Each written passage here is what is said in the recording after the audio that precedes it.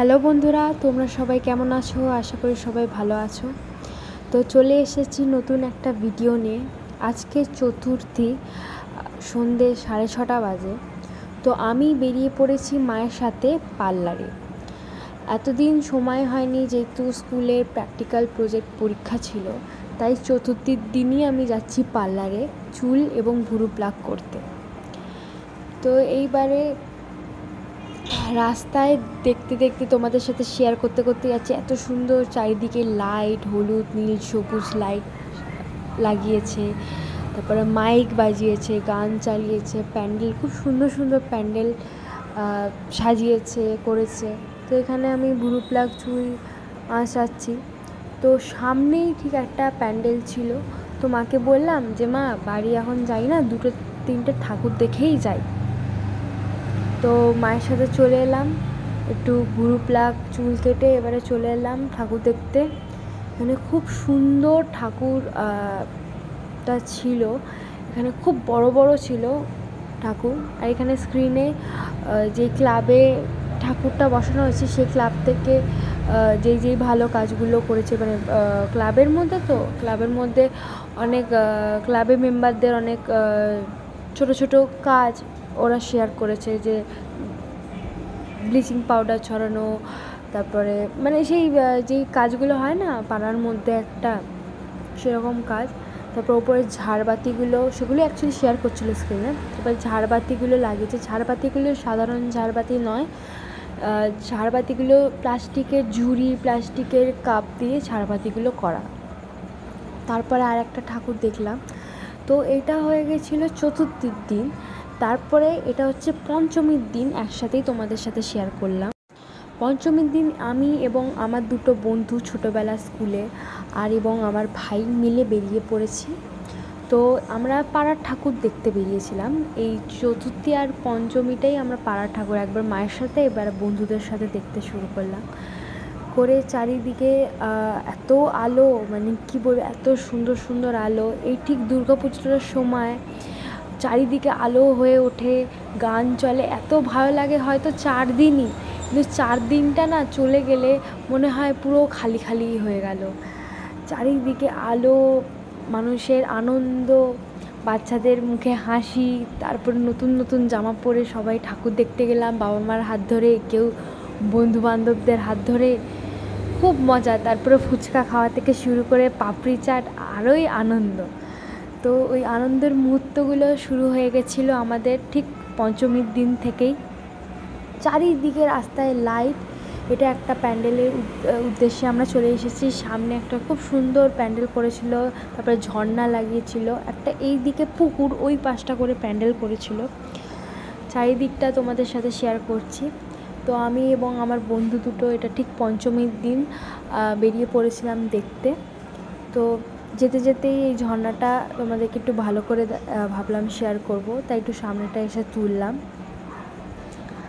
তারপরে দেখতে দেখতে যাচ্ছি, তখন এখানে যে প্যান্ডেলটায় ঢুকলাম, এই প্যান্ডেলে মাকে এবং সব ঠাকুরকে অস্ত্র দেওয়া হচ্ছিল, অস্ত্র লাগানো হচ্ছিল হাতে, অস্ত্র দেওয়া হচ্ছিল।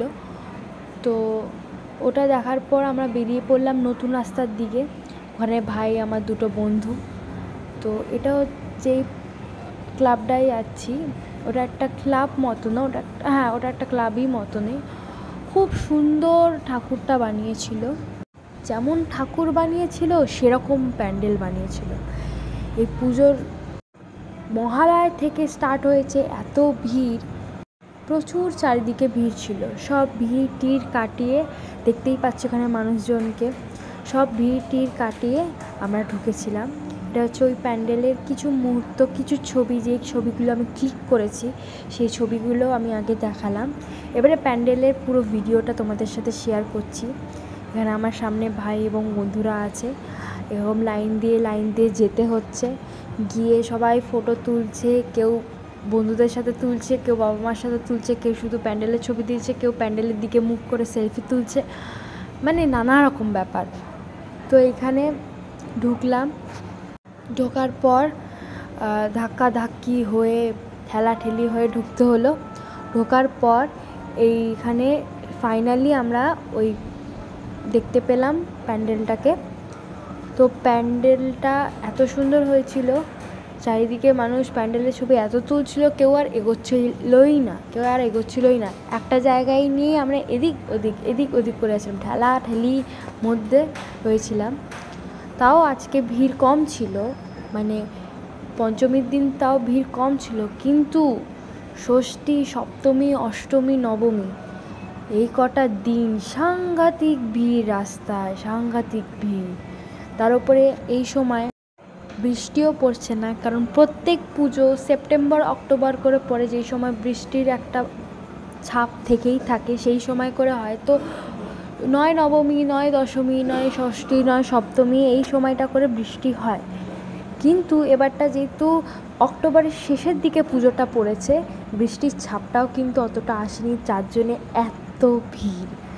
তো এইদিকে প্যান্ডেলটা আমরা দেখালাম, এটা হচ্ছে স্বামীজি স্পোর্টিং ক্লাব। ক্লাবটার নাম স্বামীজি স্পোর্টিং ক্লাব। এত সুন্দর জিনিস বানিয়েছিল, প্যান্ডেল বানিয়েছিল। তারপরে শেষমেশ ঠেলাঠেলি করে একটু ঢোকার চেষ্টা করলাম, করে এখানটা একটু ফাঁকা পেলাম। ফাঁকা পেরিয়ে ভেতরটা ঢুকলাম, ঢুকে ঠিক ভেতরটা এইভাবে সাজানো ছিল।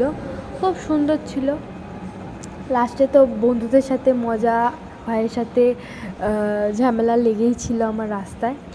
এইখানে ফাইনাল ফাইনালি আমার ঠাকুরটা দেখা হলো এত এতক্ষণ পরে, প্রায় অনেকক্ষণ দাঁড়িয়েছিলাম।